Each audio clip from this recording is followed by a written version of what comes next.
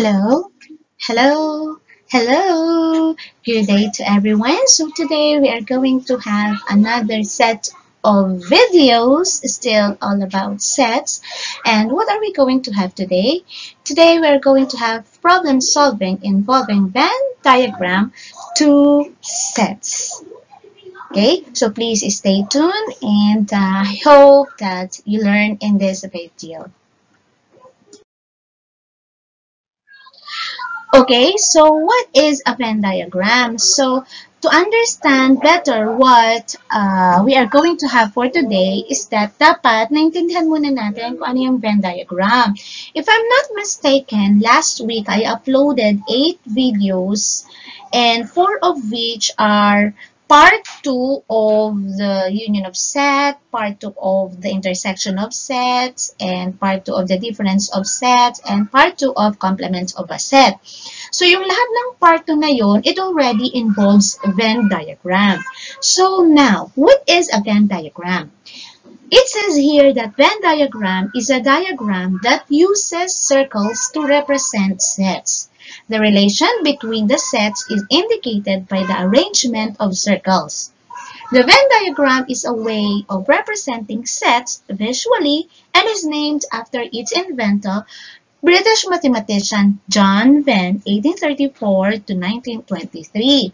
So if I'm going to explain this um, in Tagalog, it says here that um, Para mas maintindihan daw natin kung paano ang pag-solve ng problem gamit ang Venn diagram, kinakailangan daw ay gumamit tayo ng circles. So, yung circles na yun, yung arrangement niya sa loob ng rectangle, which is your universal set, ay magbibigay sa atin ng kahulugan para ma-solve natin kung ano yung hinihingi sa problem. So, Please stay tuned. I'll be giving example on how to solve problems involving Venn diagram with two circles or two sets. Now, I have here a rectangle and this rectangle represents your universal set. Anything that you see or anything that you found inside this rectangle is a part of a universal set like this blue circle, which is for my set A, and like this green circle, which is for my set B.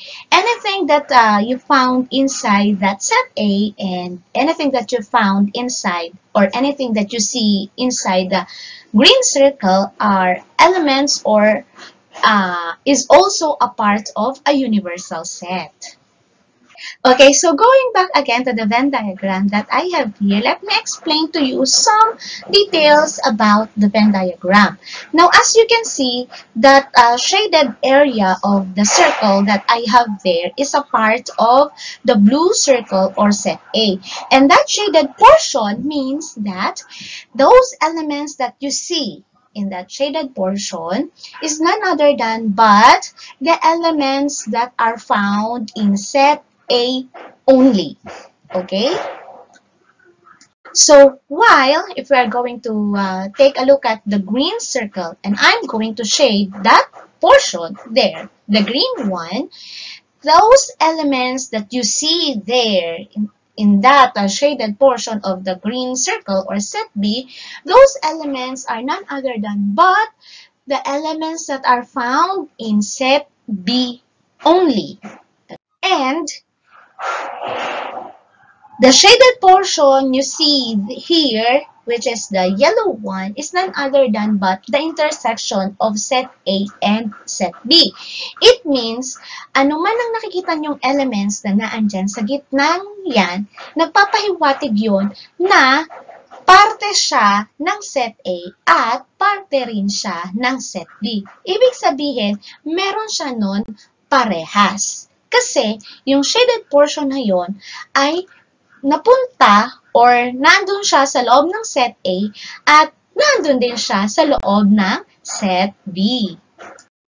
Okay, so since we are on problem solving involving Venn diagram, let us have the following problem number one. 60 students of grade 7 charity were asked if they have pet animals at home. 40 of the students have dogs and 35 students have cats. Now, letter A, how many students have dogs only? These are some of the misconceptions that students do whenever we are on problem solving involving Venn diagram. And if they are asked how many students have dogs only, they're going to answer it straight with 40 they thought that the answer is already found in the given, which is not correct. Because in letter A, you are asked that how many students have dogs only. There is the word only. While in the given, it says that 40 of the students have dogs. There is no word only. So writing 40 as the answer is not correct. The same also with question letter B. How many students own cats only? They're going to answer this directly with 35. They thought that the answer is already found in the given, which is not correct also. Because in the question, it says that how many students own cats only? There is the word only. Now, from the given, based from the given, there is no word only there. It only says that there are 35 have cats. So writing 35 is not correct. And for letter C, how many students have both pet animals? What students will do here is that they are going to add 40 and 35 making this 75, which is not correct. Why? Because based from the given, 60 students have of grade 7 charity were asked if they have pet animals. So there are only 60. How come that you are going to have answer or have 75 here. As for your answer to the question, how many students have both pet animals? Okay, so to make everything clear on how to solve problems involving Venn diagram, let us have the following solution. Okay, so here is the solution. Based from the given, the universal set is given by 60 the number of students who owns dogs is 40 and the number of students who own cats is 35. And if we are going to draw a Venn diagram, here, let my blue circle be the set of dogs and let my green circle be the set of cats. Okay? Now, to answer the question letter A, how many students have dogs only? What we are going to do is to Let me draw it for you. Okay, so hanapin natin kung nasaan yung nagpapakita dyan ng dogs only. Okay? A while ago, diniscuss ko na sa inyo, sabi ko, this part, this portion, I'm going to shade it for you. This portion answers the question dogs only. Okay? Ano man ang elements na naandyan, okay, yan yung dogs only. So, syempre, para mahanap natin kung ilan ang estudyante na nagmamay-ari ng dogs only or kung ilang estudyante ang merong alagang animal, pet animal, na dogs lang, what we're going to do is to subtract kung ilan ang nagmamay-ari ng cats sa universal set natin. Nakuha niyo ba? So, solving this further, ilan ba ang universal set natin? It is 60. Ilan ang estudyante ang nagmamay-ari ng cats? 35. Subtracting this, we are going to have how many? Our answer is 25. So, ibig sabihin, ang nagmamay-ari, I mean, ilan ang estudyante ang nagmamay-ari ng dogs lang? Ibig sabihin, ang alaga lang nilang pet animal sa bahay ay dogs lang, as in walang kahalo. Wala silang alagang pusa. The answer is 25. Nakuha nyo ba? Okay, so going back to the problem that we have a while ago, um, the universal set is 60, 40 yung dogs, 35 yung nagmamay-ari ng cats, and you have there your Venn diagram. Kanina, nasagot na natin na uh, merong 25 na estudyante na ang alaga nilang animal, uh, animals sa loob ng bahay ay uh, dogs lang. Ilan yon? 25. Okay, so 25 to. Now, this time you are asked, how many students have cats only? So, let me shade for you the, the portion which uh, tells us that they own cats only, okay? As you can see, I am shading here the portion of the circle green that says they own cats only. Ibig sabihin sa Tagalog, ang alaga nilang pet animal sa bahay ay cats lang. Walang kahalo. Okay? Wala silang alagang aso. Alright? Para masagot yan, like what we did ago, we're going to apply subtraction. Subtraction lang ang ating technique. Ngayon, para masagot yan, sabi natin kanina, uh, ibawas lang natin Okay? Ibawas lang natin, syempre, yung dogs, okay, which is 40. So, ibawas lang natin yung 40. Saan? Sa universal set mo. Okay? So, I'm sorry, let me use a formula first. Okay? So, ibawas lang natin yung nagmamay-ari ng dogs, dogs ha, which is 40, sa universal set mo. Now, your universal set, your universal set is given by 60 and yung dogs mo ay 40. So, let us subtract this. Now, what will be the answer?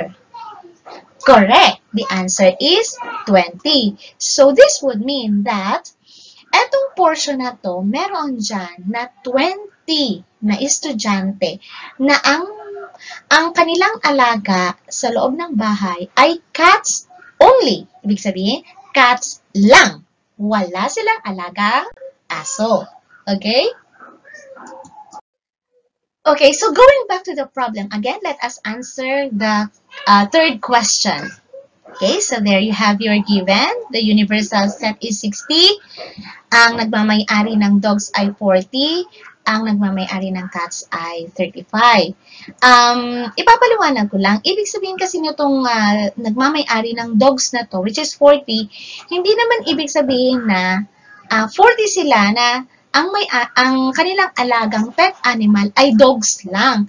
Pwede kasing may alaga din silang pusa. Pero, 'di ba? May alaga pa rin naman silang dogs. And so the same with these cats here hindi naman ibig sabihin na etong 35 na to ay 35 na to na estudyante, ang alaga lang talaga nila ay cats lang. Pwede rin naman kasing etong 35 na to, may ilan sa kanila na uh, may alaga din silang aso. Okay? Pero, may alaga silang cats. Nakukuha nyo ba yung point ko? okay, so, um, to explain this using Venn diagram, let's answer question number 3. How many students both have pet animals. So, ibig sabihin, ilan kaya yung may alaga na dalawa? Ibig sabihin, may alaga na siyang pusa, may alaga pa rin siyang aso. Okay, so, yung sa letter A kanina, sinagot natin na uh, uh, dogs only.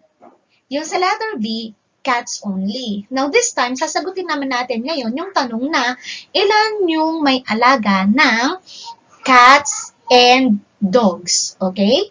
So, to answer this question, ipapakita ko sa inyo kung nasaan makukuha ang sagot na yon by shading this portion. As you can see, I am shading this portion here parang sa gitna ng dogs and cats. Bakit? Kasi etong portion na to, this portion here indicates or it tells us that this is Okay, so etong part na to, this is a part of dogs and is also a part of cats. Nagpapahiwatig na, ibig sabihin kung ano yung ilalagay natin dito or ilan yung nakikita ninyo dyan, yan yung nagmamay-ari ng dogs and cats. Ibig sabihin, dalawa ang alaga nilang pet animal sa loob ng bahay. Nakiku na, nakikita nyo? Nakukuha nyo ba? Paano natin ngayon sasagutin ang tanong na kung ilan yan?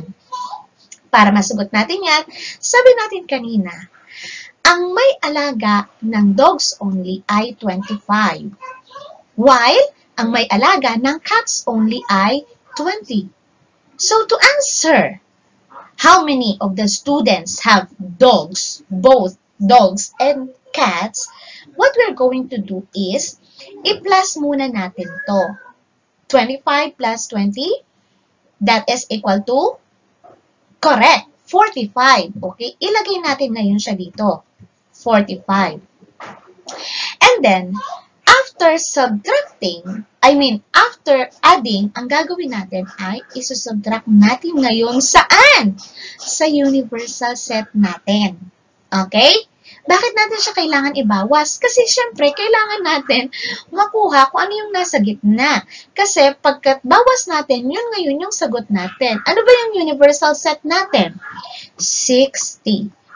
Then, continue to solve na. 60 minus 45, this is equal to what? Okay, the answer is correct. The answer is 15. Okay? Ngayon, ang ilalagay natin dito sa gitna ay 15. Okay? Yan. So, 15 ngayon ang sagot sa kung ilan yung nagmamay-ari ng both dogs and cats. Alright? To verify our answer, um, let me continue it here. To verify our answer, if we are correct, dapat kapag plinas natin itong 25, 15, and 20, they must be a total of 60. Okay? I-check nyo na kung tama. Alright? I hope you learned in this lesson. We are going to have another set of video and that will be... Oh.